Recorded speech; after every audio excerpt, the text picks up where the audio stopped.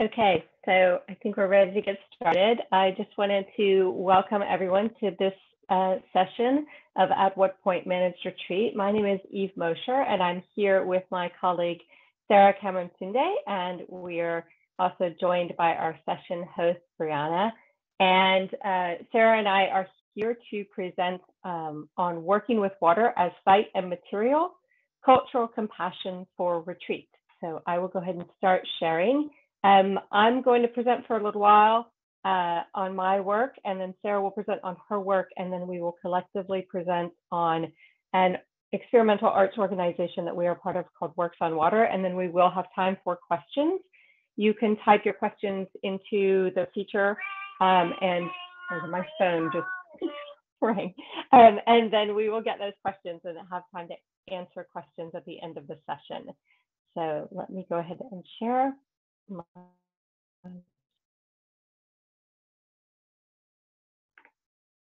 Okay, so as I mentioned, I'm Eve Mosher. You'll hear from Sarah in just a moment, and we will be talking about working with water as site and material, cultural compassion for retreat.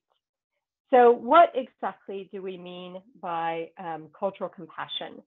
Cultural compassion, uh, when I'm sort of speaking to that, comes from the way that I work in creating arts and arts projects um, that live outside of what you might normally think of as art. It's very much outside the institutional walls of galleries and museums. Um, and it's the kind of work that works within communities and plays a role when thinking about climate migration, managed retreat, it plays a role in kind of delivering different aspects of what is required to do compassionate um, climate migration. And that is telling the truth of the data, of the complexities of the changing world that we live in. It is creating space and creative activities that help us grapple with the kind of grief and healing that's necessary to move on, to transform our uh, perspective on how the world is changing into a place of imagination. Um, and so I'm also doing work that really helps us imagine not only what the world will be, but what it might be. What is it that we want to see the world transform into. And so I'm going to talk about that through the lens of three projects I've worked on. Um, and then, like I mentioned, Sarah and I are also going to talk about um, it Works on Water, which is a collective that is working across a lot of these boundaries and the waterways and working with communities on their changing um, coastlines. So the first project I want to present on is a project that I started in 2007 called High Water Line. Um, and this project really very much was about translating the data into a sort of embodied, um, spatially relevant data. So it was drawing a chalk line, a blue chalk line around 75 miles of New York City um, coastline, and the line was drawn at 10 feet above sea level. A relevant um, data point that talks about where the water will come. Um, at the time when I did it in 2007, it was still kind of, um, it wasn't set in stone. Now we are locked into um, extensive flooding and storm surge to that line um, somewhere of up to every four years. And then that the timeline on that is sort of rapidly advancing um, as to when that's going to happen. So that means that these neighborhoods are really going to have a very different experience um, of than what they have at the moment. And the project was really about creating enough of a kind of interesting moment, a spectacle, so to speak, to allow people to have conversations with me about the changes they were already seeing, what we were expected to see, um, what is the science that backs this up, and then what what is our role in that? What can we do? And at the time, it was about advocacy um, and getting the sort of representatives and people in power to pay attention to uh, the impacts of sea level rise. Um, as time went on, I ended up doing the project in partnership with Heidi Quante, who is someone who has a lot of experience in community engagement. And we took the project to other communities where they undertook the project on their own. And a big part of that was actually setting up um, space and time. We would work with a community, some communities very short, four months, some communities up to two years, where we were hosting a lot of different kinds of creative workshops which allowed people to come to grips with the reality, that kind of truth moment, and then also go through the time and experiences necessary to grapple with the kind of grief and healing. Um, we did a lot of storytelling workshops, solutions workshops, uh, just getting to know one another workshops, and then really designing the project um, the high water line project that they wanted to enact. Um, and uh, the project for a lot of people was really transformational. You go through this process of the workshops, but then actually drawing the line is itself a pretty powerful moment. Um, doing something that's sort of physical in public space, in the spaces that will be impacted, um, can have a really powerful effect on participants. So the project has gone on to happen in a number of different communities around the world, and it now exists um, as a guide that's online that is open source for other communities to undertake it. It has been used uh, recently by Stockholm, a group in Stockholm, Sweden, a group in Hawaii. And so it's sort of evolving and showing up in different iterations around the world and kind of has a different meaning now that we're locked in, but it does give people a chance to kind of create a space um, for like I, I, kind of talk about pre-memory, like thinking about what's going to change and how is it going to change. Um, and since that project, I've gotten really in, into the idea of like we need to create that space for having the difficult conversations about the truth, but we also need to create, and we have need to have space for the kind of healing. We also need to create really strong space for imagining what's possible. Um, this is uh, our tricycle, which is a, a a tricycle with a tree in it that is going around Philadelphia this summer. It's part of a much larger project in partnership with the Trust for Public Land in Philadelphia and three artists and artist groups uh, working with local neighborhoods who are all suffering from um, urban heat impacts. So their communities are up to 10 degrees hotter than surrounding communities. Um, not specific to the water, but still specific to the changing environment that we're living in and, and the disproportionate impact on certain communities.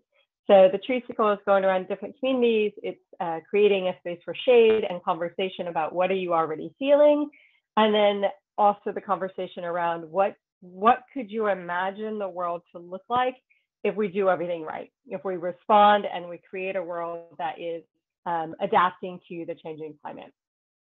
So um, with a lot of those conversations, I will be creating um, an immersive audioscape and digital um, projection piece that will then travel around Philadelphia that includes the voices of the people that we've spoken to it creates a sort of I, I you know visual ideas of what could be. Um, and I have an embedded sound piece, but I forgot to click the button to share the audio. Um, so I will just go ahead and move on because we do have a, a, lot we can cover. So I will, if we have time, maybe I can play that later. Um, so I also wanted to share a project that's ongoing um, called Story of Tomorrow, which is taking that kind of idea of um, the embodied immersive experience a step further.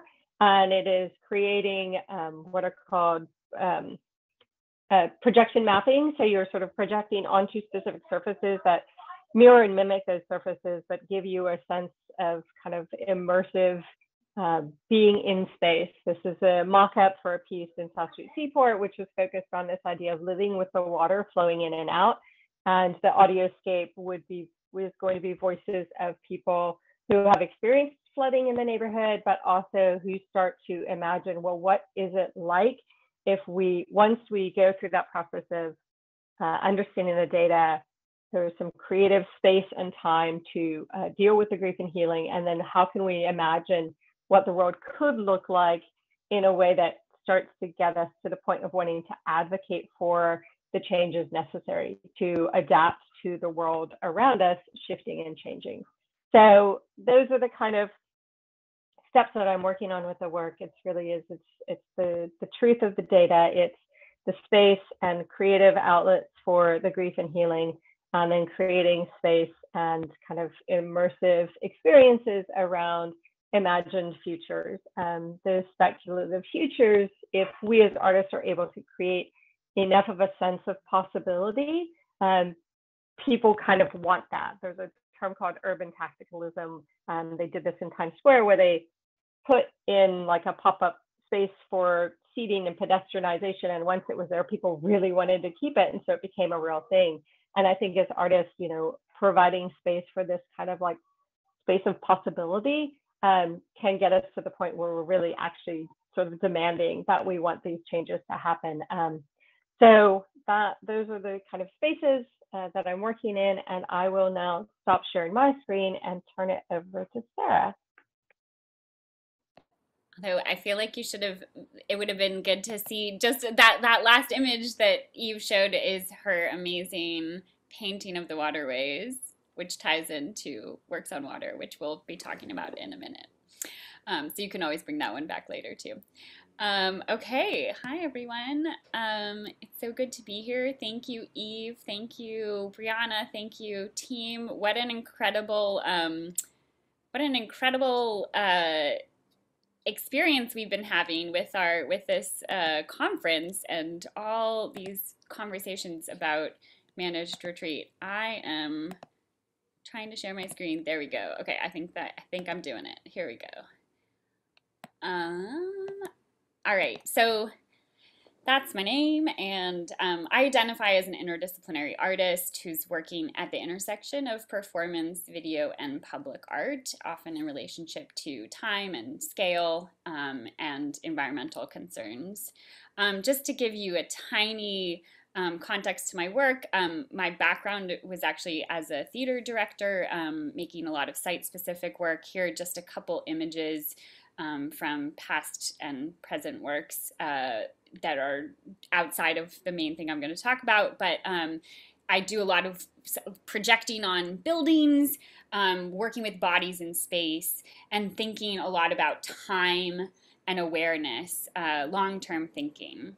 Uh, but the project I'm really going to talk about is 36.5, a durational performance with the sea, which began in 2013 um, in response to Hurricane Sandy hitting New York City.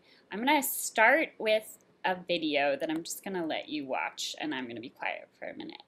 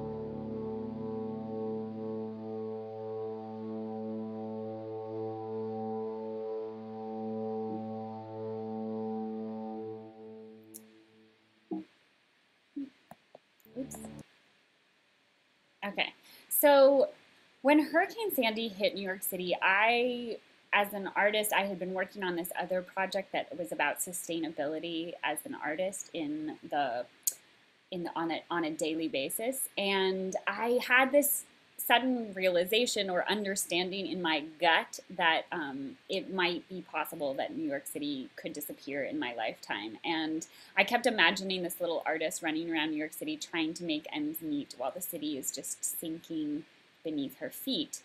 And um, that image was in my brain for about nine months. And then I was up in Maine and I realized, I was at Bass Harbor, Maine, and I realized that the tides could be a metaphor for sea level rise, for environmental change. And I, um, one day I just started, I was watching this rock that you can see on the, on the screen here, and I just watched it get swallowed whole over the course of about 30 minutes. And I was riveted. It was like the most in, most um, suspenseful performance I had ever seen, and I imagined a human body out there in the water.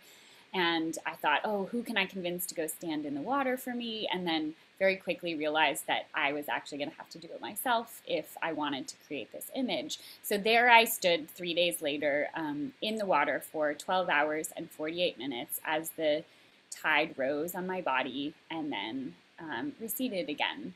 And as I was out there, I had this a moment where I realized, um, from a bodily perspective rather than an intellectual perspective, that how just how connected we are all around the world because of our water. Of course, we know this intellectually; we talk about it all the time. But I felt it in my body, and I wondered, what is that person in Bangladesh? What are they feeling and thinking about in terms of sea level rise? How about that person in Brazil? What are my our friends, our sisters, and our brothers across the world thinking about all these things and feeling and experiencing right now due to climate change and sea level rise.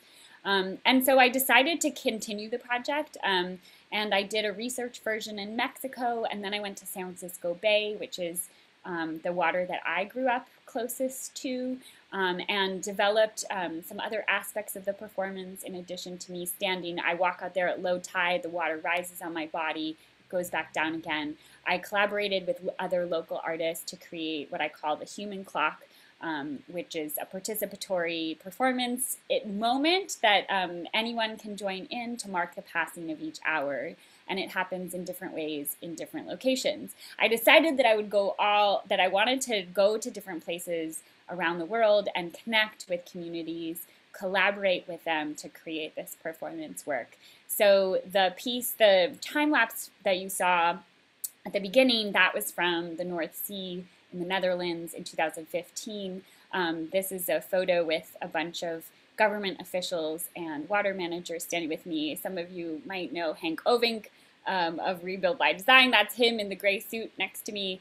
Um, and so, and then people kept on joining in. So it really became this participatory performance event. In the Netherlands, it was the first time that I also um, filmed the entire thing in real time and then turned that into a durational video work that was the same length as the performance um, that was shown in a few different uh, museums and gallery spaces in Amsterdam. Um, and I continue to show the work in this way um, now with two channels showing different moments in time. And hopefully, it's a 12 hour, this one is a 12 hour, 46 minute video. Um, and I hope that people engage in slow looking as they're experiencing it. Um, and they really kind of can see the tension that's occurring. Um, this is in Bangladesh, the Bay of Bengal, the southern tip. Um, I collaborated with Britto Art trust and music became a really important part of this work here. Oh, that was some friends watching from the shore. Um, and then I went to Brazil in Salvador, Bahia, um, and was at this amazing little um, beach area at the right by Solar do Unhão, the comunidade right here. And I collaborated with a bunch of street poets who marked the passing of the hours from the shore. This is them performing. That's me in the background. Um, and many, many people came out to stand with us. This is a nighttime shot um, from later on in the day. It was pretty awesome. Um, and then I went to Kenya, um, and this is a little village about two hours south of Mombasa called Bodo Inlet, an incredible community um, I was really lucky to have been introduced to a bunch of wonderful people who um, who were able to uh, who knew this community, and we were able to collaborate in a really exciting way. There was a big ritual to um, begin the performance, a town crier who announced um, that it was happening, and then a big performance, uh, lots of singing and dancing that took place throughout the day, um, along with many people joining me in the water there are so many stories to tell um, about details, but uh, I can't tell them all right now. But all these people mean so many things to me. I have such fond memories, and I'm still connected to many of them. This is at high tide in Kenya. And as part of the Kenya work, we planted um, 700 mangrove trees on the day of the performance. That was another thing that could that people could do in addition to hanging out and just watching the slow rising of the water. Um, and those mangroves are, I'm told, are continuing to grow, and that is um, part of the coastal resilience plan for this village. Um, so it was exciting to contribute to that. Um, this is projecting the video um, when I we film the whole thing in real time. I collaborate with a local filmmaker and then we edit it very quickly so that we can um, actually show it within the community that we're working in before I have to leave. I spend usually five or six weeks on the ground. Um, and this was projecting on the walls of Fort Jesus um, in Mombasa uh, as I was after after the performance. Um, when COVID hit, I was actually over in Aotearoa, New Zealand, and I was working with some incredible Maori collaborators, and we were getting ready to do the performance on March 29th. Everything seemed to be going well, and then, of course, the pandemic descended on us, and um, I we had to postpone everything. So I'm in touch with everyone over there, and we will be resuming this. But this is this is also my background shot. I keep it here as a reminder, as a to try to stay connected to these waters over there, and to um, and as a reminder that it will happen. I will go back. The plan is now to do this um, performance in March of next year. Um, this is the map that shows the um, the places where I've done this work and um, and where I will go. Um, and then the, the final work in the series is will be in New York. The idea has always kind of been to do this research around the world, this body research, um, and also uh, and connect, see what we can I can learn from all these amazing people, communities around the world, and bring some of that back to New York um, and and share it here. So um, this is actually a, uh, and things have changed because of the pandemic. This was a test stand that I did last year on September 5th, which was the date that was supposed to be the final performance in New York. Um, but it ended up not uh, being able to be, obviously. Um, and but what's one of the amazing things about having this extra time is actually that I'm able to go much deeper into my um, connections with the local community here in New York. The location is the Cove at Socrates Sculpture Park.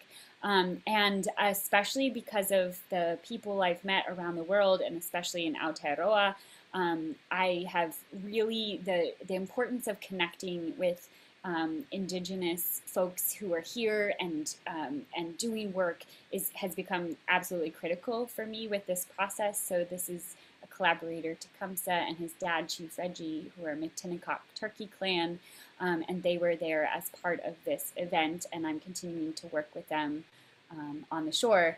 Another thing I realized during this uh, test day was how interesting it is to layer these different, um, from an aesthetic perspective, to layer the, the different locations. So this is actually, it looks kind of blurry, but it's a, it's a screenshot from the live stream event where we were live streaming from Hallett's Cove um, on that test day, and I was layering it with some Kenya, some images from the Kenya performance.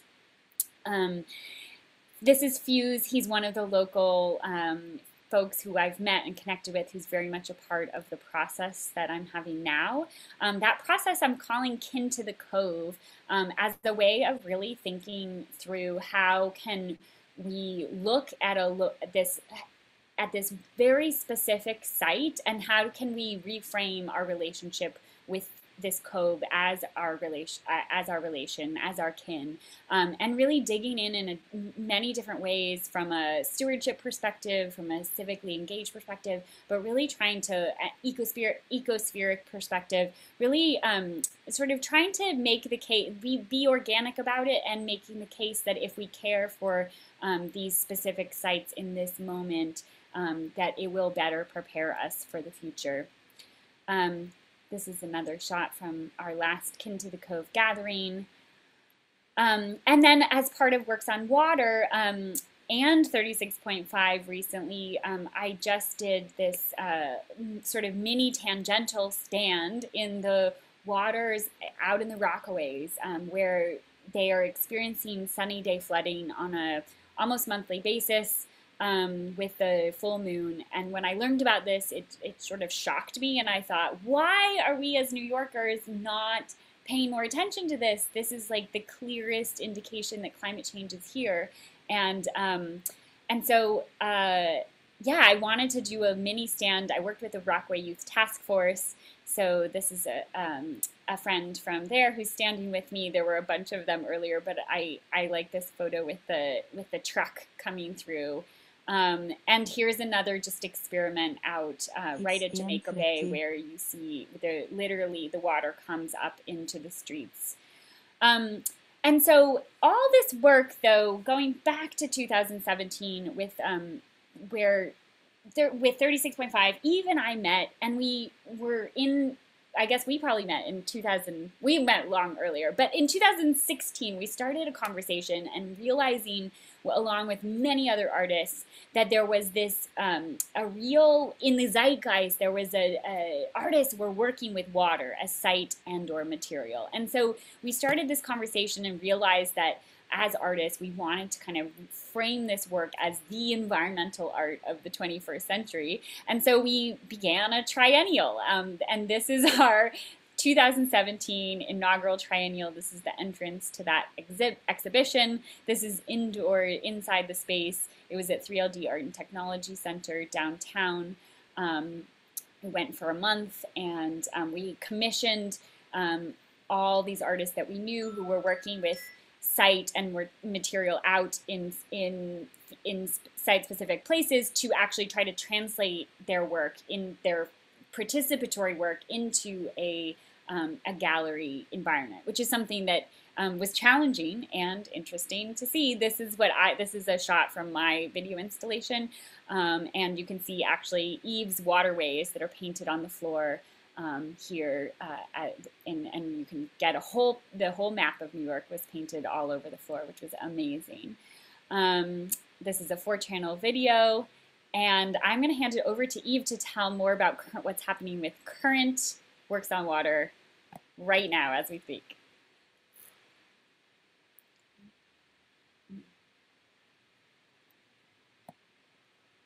Sorry, I left myself on mute and uh, started to share without unmuting. Okay, so um, as Sarah mentioned, we started uh, with the triennial and um, soon sort of invested ourselves in doing a lot of different work related to the waterways. There are so many different people working on and with the waterways. And we saw ourselves as sort of a natural convener and collaborator with a lot of those different organizations and individuals. So um, following the triennial in 2017, we started a residency on Governor's Island. So it's artists, researchers, other people who are working on and with the water. And we also started working very closely with the Department of City Planning Waterfront Division, who were beginning the process of writing their vision for the waterfront. Um, and we were we saw ourselves as natural partners in that invited them to come out and be in residence at governor's island with the artists and uh, researchers as well as uh, work with them as they were doing their outreach. And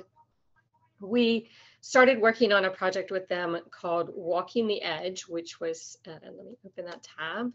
Oh i can't do it that way. I'll just do this.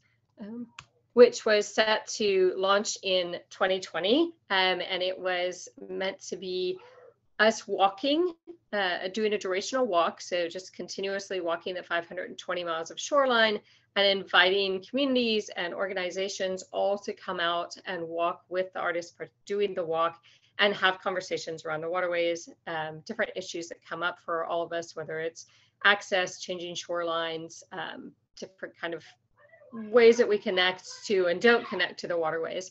And um, of course, COVID hit.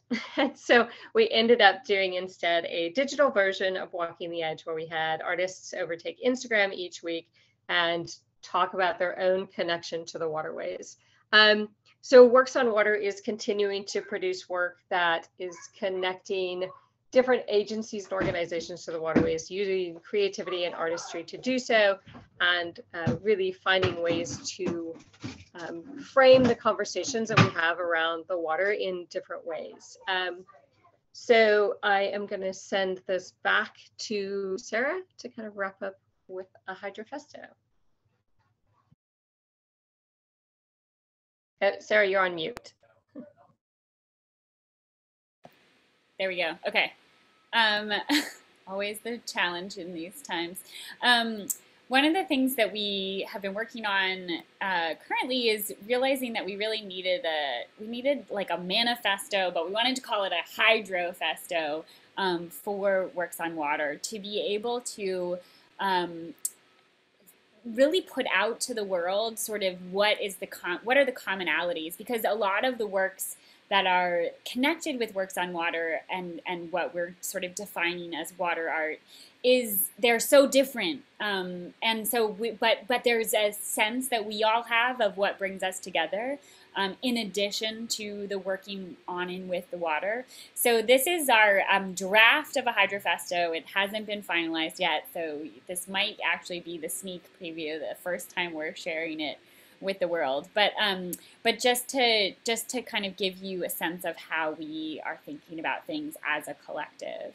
Um, and let's see, I don't know. Shall I? Uh, shall I? I'm going to read it out loud. Um, and you guys can all read along with me. Okay, so the Works on Water Hydrofesto. We are bodies of water, and we maintain solidarity and kinship with all water bodies worldwide.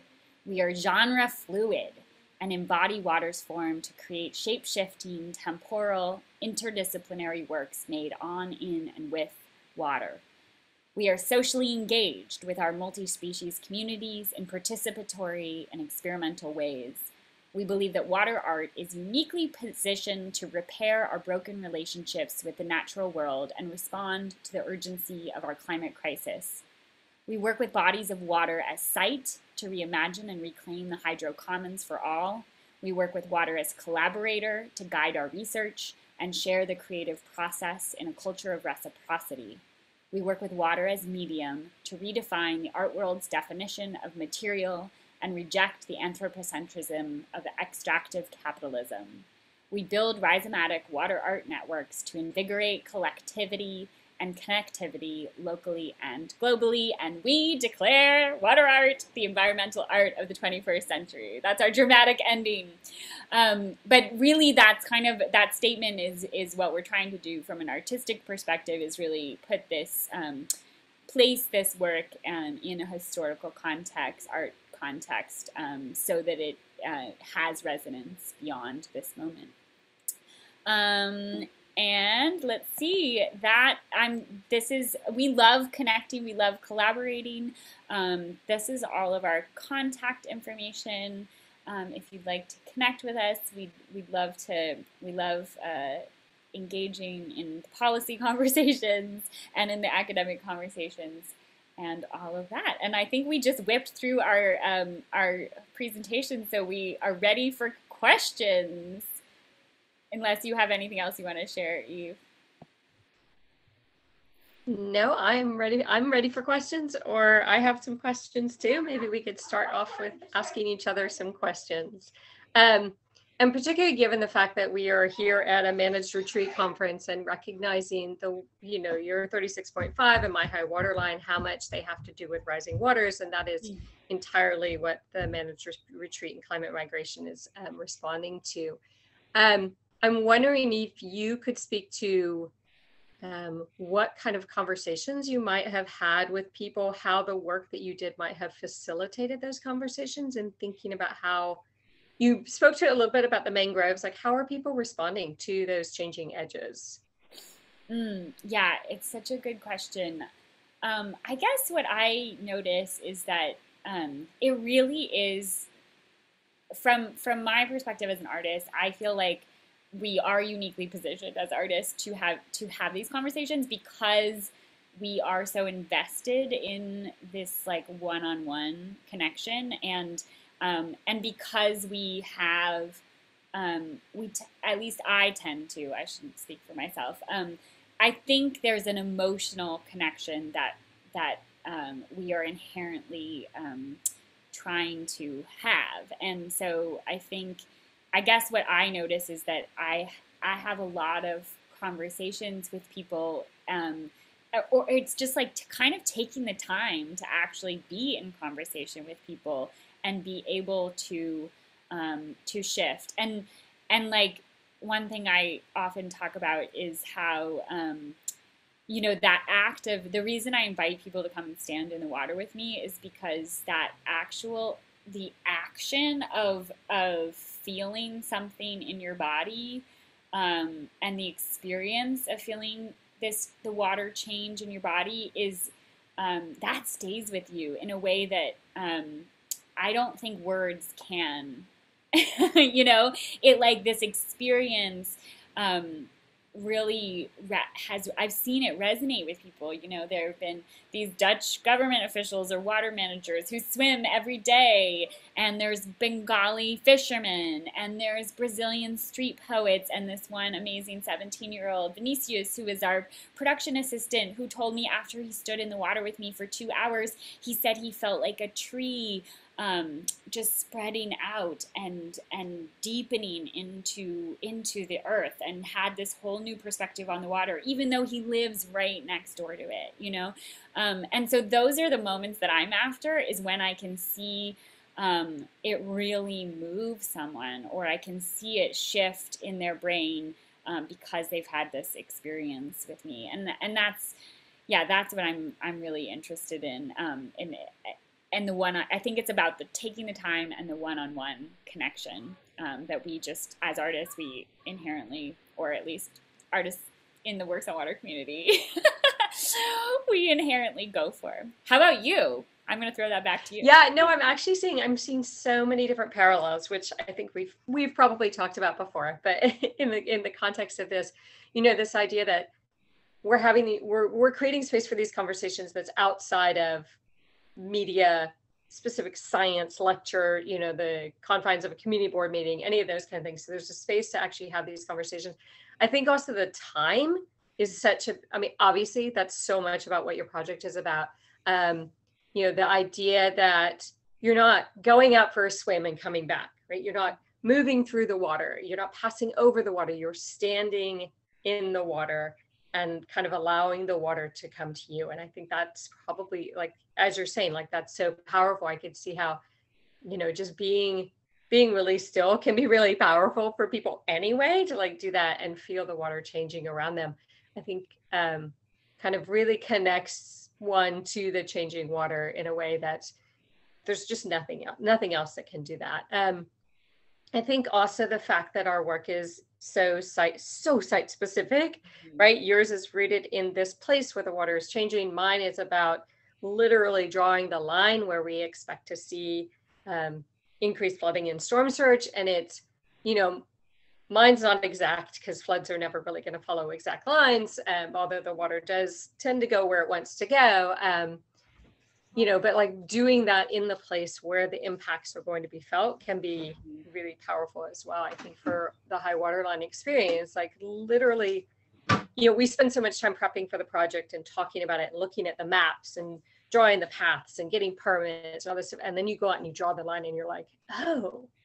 You know even if you've pre-walked it like i pre-biked and walked all of the new york city line i was like okay there's a horse stable here and a, a senior care home here and hospital and school and but then you're drawing this line through those environments and like lines themselves have such loaded uh there's sort of a loaded mm-hmm. thing anyway um that it can feel really powerful for people to kind of do that and then to do something what we're both doing is sort of a bit of a spectacle mm-hmm. and then you get so you have i feel like i have two audiences and you do too right we have the audience that are the close participants who are showing up, who are standing in the water, who are drawing the line.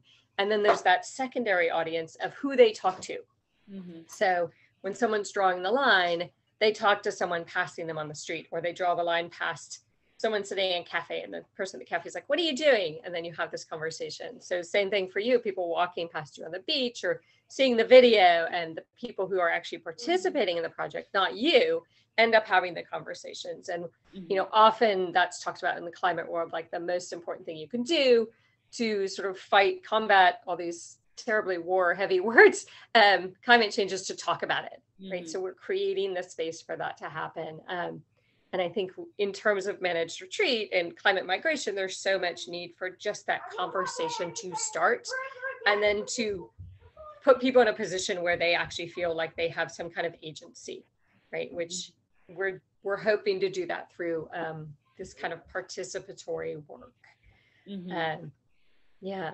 so- yeah to- totally just to jump in on that like the um the sort of act of of connecting with the water or connecting either the physical water or the line of the water i think is about actually it's that positive awareness. I i think of it as positive. It's sort of terrifying if you but it, or it could be terrifying but it's um, but it's actually about oh no we have agency to reconnect with our water and and to re reimagine um, this site and where we are and what our human place is in the world. Um, and that's a that's a really amazing thing actually. Um, so i feel like also i'm always sort of thinking about extremes. It's like the terror of what could happen and the like beauty and positive thing of what could happen and that it's very nuanced. Um, and and i'm really interested in what each person who encounters a work um, what resonates with them. Like i have at the heart of it for me is this question about sea level rise and i will always um, and extreme weather events and that that i will always bring it back to that but people see really different things and i think there's just value in like deeply connecting with water and and people have so many stories to share. There's like so many stories. Um, yeah i can't possibly tell them all. Do you have a story of someone you encountered when you were doing the high water line that has really like stayed with you Yeah, no, I'm like you. There's so many. Yeah. i know you know, there's there's and I think that's part of it too. Like part of part of what people need uh, in this kind of changing world is they need someone to hear.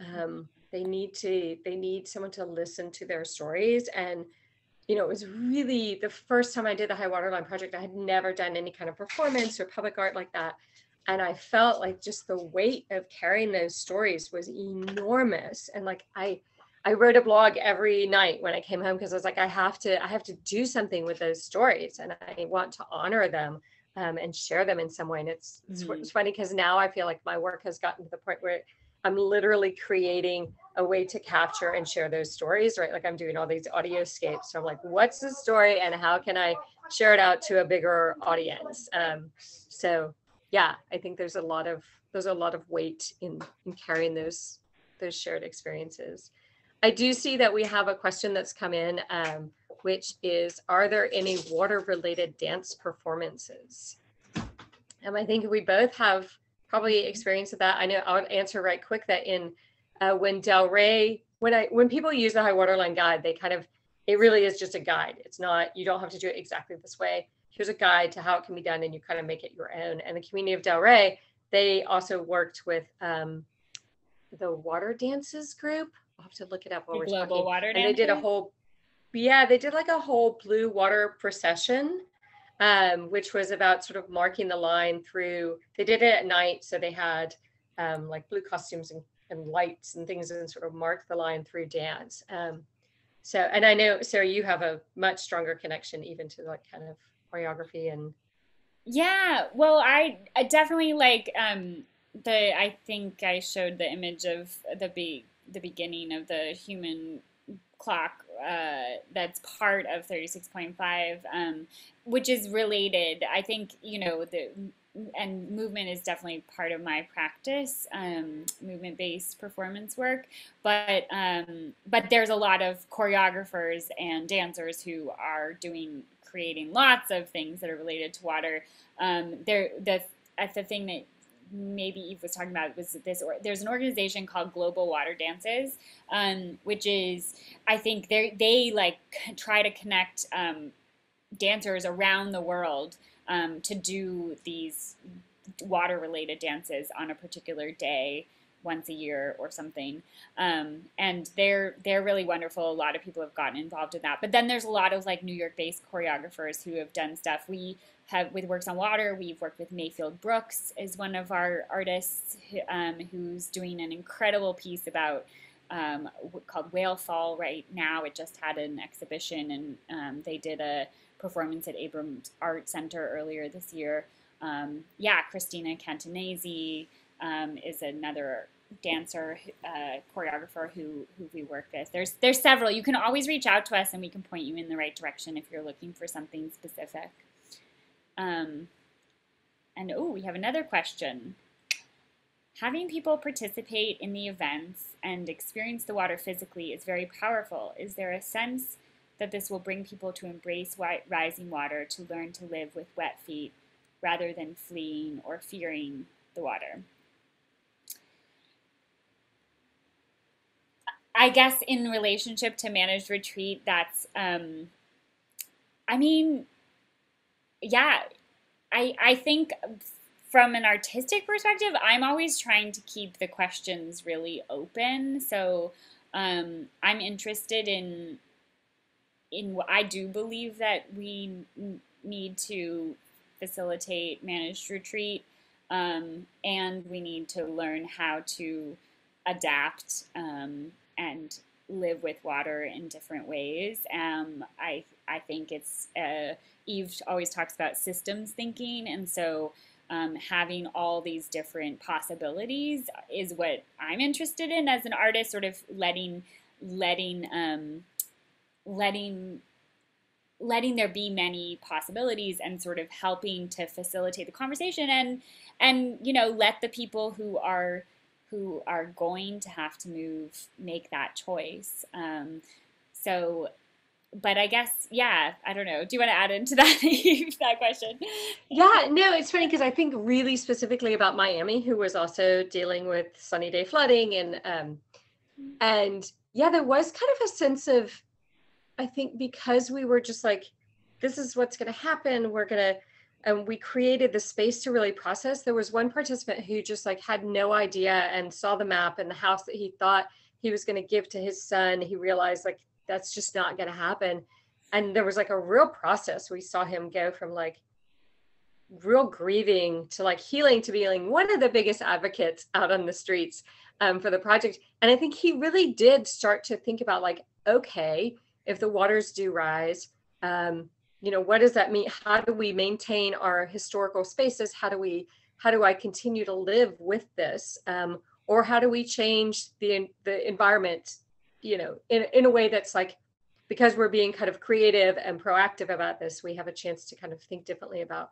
how we live with the water. So I do think that the, um, the kind of creative working with the facts um, does allow people to access them in a really different kind of different minded way that maybe is a little less defensive um yeah yeah i that I think that that's sort of, I guess that's why, like, I am an artist, or why I think a lot of people who are who are artists are are really interested in those questions, living as questions rather than any sort of top down decision. Um, of course, we all have opinions or or things that we think should maybe happen, but um, like I was in the session last night with the Stanford. Um, research group and there were these binary questions of like should it be this or should it be this and it was like no it's always in between like those were great in terms of um, just prompting the discussion but it's like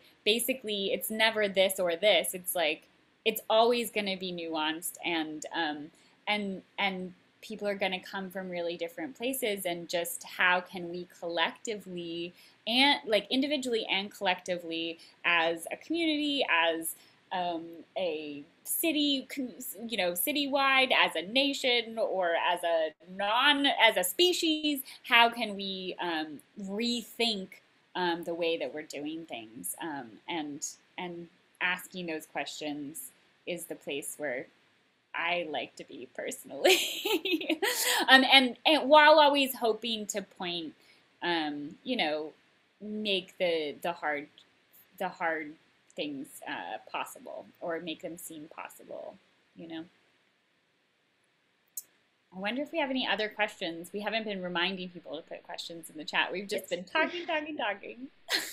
yeah, if you do have questions, put them in the chat. They will, will make their way to us. Um, it's funny, Sarah, that you bring up this idea. I think, you know, I've been doing this work around climate change for a long time, and people have always said, like, oh, you're an activist artist and blah, blah, mm-hmm. blah. I'm very uncomfortable with that.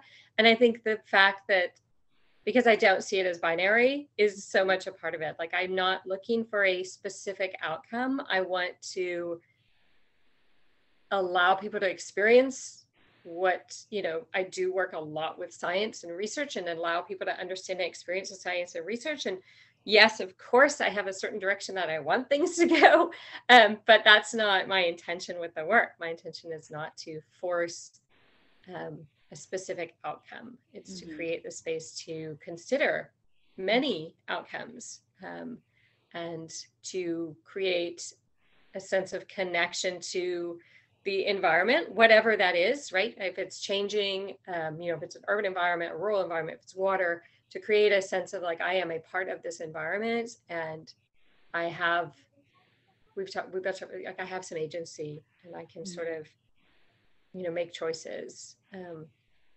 around what what my environment becomes. Um, so it's kind of just giving a lot of information in a digestible way, maybe and in a creative way, and then allowing that evolution to happen. Yeah, it's interesting. There's that like activism art question comes up a lot, and I I think I I have sort of resisted the activism because there are so many people who want to place this into an activist space and I'm like it's actually art first and foremost because I believe that art actually can change perspectives, you know, perhaps more um, when it really hits someone deeply. It, um, I think activism is great too, um, and, and we need the activists. But I know, like from for me, what I'm trying to do is create really complex, simple but complex imagery that um, and experiences that that like shift people on a really deep level. And it takes yeah it takes a lot of us. So that's why we need all the folks with works on water doing this work in order to just like change the world. Yeah. although nurturing more and more and more and more artists. Although isn't it so interesting how like from the moment like i remember thinking when i started 36.5 in 2013 i was already like way behind you. You started so much earlier, Eve. But like, I remember thinking, like, wow, I could see people's eyes kind of glaze over when I mentioned, if I mentioned sea level rise. And so I actually took it out of my vocabulary. Um, but then now, of course, I, I and I remember thinking, okay, if this is where we're at in 2013, where are we going to be in 2020? And that was actually why I said, okay, I'm going to finish the series in 2020 and see where we are as a society. And I do feel like what's cool and fun about doing this project long term is that there there has been a real shift. There's a real palpable and I mean even the fact that this conference is happening, you know, again this year and that there's so many amazing people who are working on managed retreat even though like, you know, New York City is having a hard time talking about it directly. The um, it's it's amazing that there's so many wonderful thinkers who are who are on this, and I do feel like you can really feel the shift in in the collective consciousness, which is exciting. Yeah. Any more questions? yeah. I I hope people are there. I think so. We got some questions. No, it's. I was actually going to jump back to something you said a minute ago um, about the idea. Oh, I can't even remember what exactly it was you said, but it prompted me thinking about, you know, um, one of the things that creative cultural producers are really good at is creating a kind of emotional connection. Mm. Um, and I think that that is often missing in the conversations around the changing world. And th- that's the moment where you really need it because we all have percep we all have perceptions about what the future holds and it's just not the reality and so you we need this space for kind of the emotional connection to the changing world and i you know i have certainly seen changes like if i were to go do high water line in new york again it would be from a very i myself have changed my practice and how i approach it has mm-hmm. really changed but also the fact that we're locked into that now mm-hmm. means that it would be, you know, a totally different project. And it's sort of interesting that you started your project seven years seven years ago, right? Seven years ago. No, nine thinking, years. Wait, oh, get out. no, Sandy was nine years ago. It was eight years ago. Okay.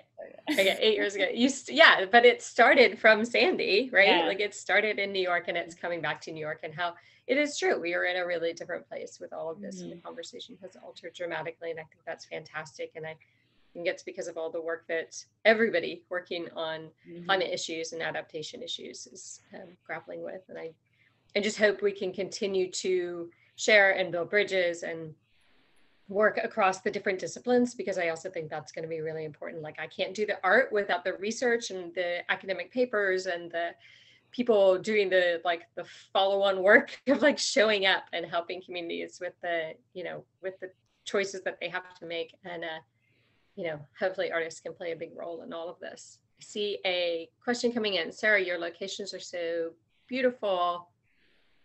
Have you considered suiting up protectively and immersing yourself in a tide of plastic? Thought about different ways I'm not to that into plastic.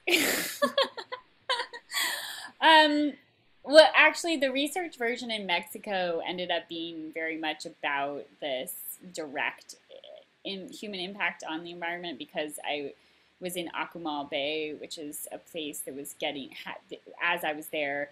There were there was this new hotel being built, and initially I thought, oh, I'll just choose the most beautiful location. But then the community actually, in through conversations with them, I realized that for that site, it was most important to do it um, in a place that uh, was kind of was directly confronting the fact that there was all this development happening that was going to cause more and more harm to the bay. Um, but it's still the imagery still was beautiful because I wasn't showing the um, hotel, but we felt it in the in the performance, and and you kind of see the people who are there as tourists.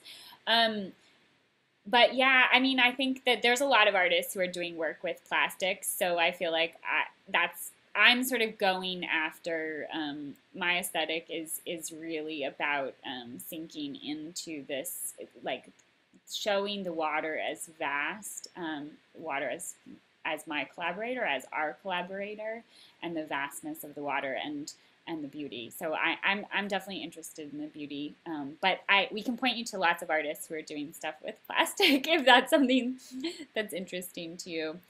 Um, let's see. Oh, there's something else. Well, yep. we, have, we have one more question, but we're also yeah. out of time. so I do want to just say thank you to everyone. Um, I don't know, Brianna, if we can stay on and answer this one question before we um, sign off, but if people need to leave to go to other sessions, you can certainly do that. Um, and opposition for our work and performances, uh, mine usually came from sort of permit, permitting, um, I was drawing the line right through the World Trade Center's uh, building site, so kind of the some of the off- city offices being against it. But people on the street, I mean, you know, I think Sarah, you probably approach this the same way. Is like you kind of meet, literally meet people where they are, mm-hmm. and it's about having the conversations that resonate with them. So I certainly did a lot of sort of research on understanding what different arguments are, and I never really positioned myself as like I'm here to argue with you. I'm not a scientist. I'm not a lobbyist. I'm you know but i can kind of find out what do you know and how do we how do we meet you where you are both literally and figuratively. Right. And that's that's the beauty of being an artist and focusing on the questions right is that we don't have to um, we're really trying to have that con- human connection. So um, so it's yeah it's possible. Like even when people are in opposition to the work there's definitely there's always people who don't get it or who are upset by it or like what is this? you know? Um, but it's interesting to kind of slowly engage with the people who are in opposition to it and see what happens. Um, I also wanted to mention that um, so the 36.5, the finale, will now be happening in 2022, and I hope anyone who is in New York will come and stand with me in the water. It'll happen in September 2022. Mark your calendars. Um, and we'll also be live streaming it around the world. So um, there's ways to see it everywhere. Um, but and and then from a Works on Water perspective, I think we're really interested in um, in collaborating and and and from a civic perspective, from a policy perspective, from an academic perspective, um, we'd love to see more artists um, engaged in these conversations. We know a bunch of artists who are who are engaging in the conversations, but from that perspective. So please do reach out if you um, if you want to if if that seems interesting to you and you're interested in in this perspective coming at things from an emotional place. Um, any last and words? with that, yeah, I think we'll say thank you. Um, again, please do get in touch, and we're really pleased to be able to be a part of the conference and look forward to continuing to attend and learn from the rest of the conference as well. So thank you all. Yes, thank you for an amazing conference. Thank you, Brianna. Do we need to do anything to? No, I'm just gonna share the closing slide for the lag and you guys can go ahead and sign off. Okay, thank you.